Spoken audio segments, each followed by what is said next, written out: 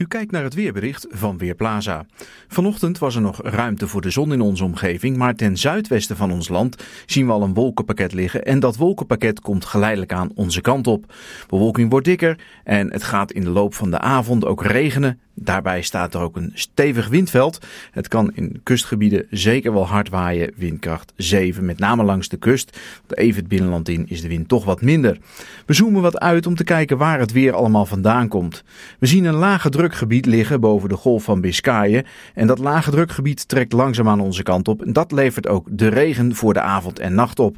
Wind trekt voorbij en dan wordt het langzaamaan wat rustiger. Morgen krijgen we nog even een stevig windveld over. Op het moment dat het lage drukgebied ons land passeert. En dan zien we eigenlijk hier een lijn liggen. En die lijn markeert niet alleen de winddraaiing, maar markeert ook de stevige windstoten die erop voor kunnen komen. Daarnaast hebben we op de oceaan een nieuw lage drukgebied liggen. En dat lage drukgebied komt langzaamaan richting het oosten.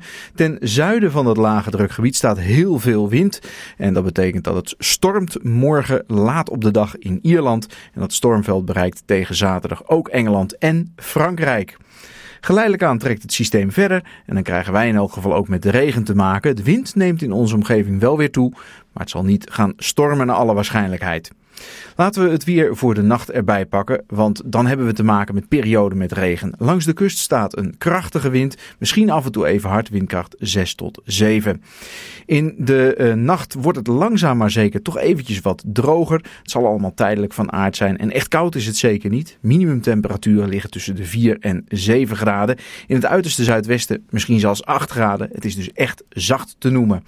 Dan kijken we naar morgen en dan hebben we in eerste instantie te maken met een uh, zuidelijke wind. Die is vrij krachtig tot hard, windkracht 5 tot 7. En ook in het binnenland staat veel wind.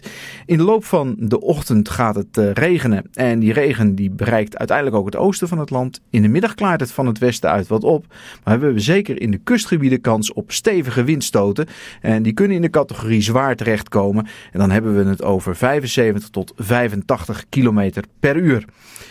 De dagen die volgen blijft het zeer wisselvallig, met in het weekeinde weinig ruimte voor zonneschijn, in ieder geval niet op zaterdag. Zondag is waarschijnlijk iets beter en ook maandag wordt het langzaam wat rustiger. Temperaturen na een 9 graden op zaterdag, een fractie lager, een graad of 8 wordt het op de maandag. Nou ja, de lange termijn laat niet heel veel verandering zien. Het blijft ronduit wisselvallig in onze omgeving. Met temperaturen die in eerste instantie iets dalen. Mogelijk zelfs een keer in de buurt van het vriespunt komen in de nacht. Maar een winterperiode zit er zeker niet in. Het blijft wisselvallig. Ik ben Marco Verhoef van Weerplaza.nl